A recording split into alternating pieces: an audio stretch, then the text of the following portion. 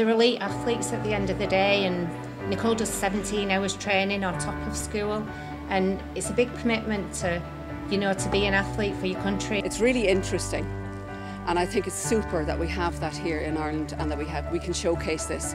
But the big message we want to get out there is it's great to see the crowds here, but please do yourselves the biggest favour in your lives.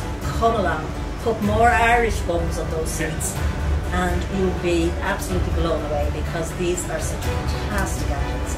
And I also think it's a bit disappointing we haven't got more spectators coming in to see it. And if more people could come and just watch and support and then inspire other younger children to get into swimming, cycling, other Paralympic sports,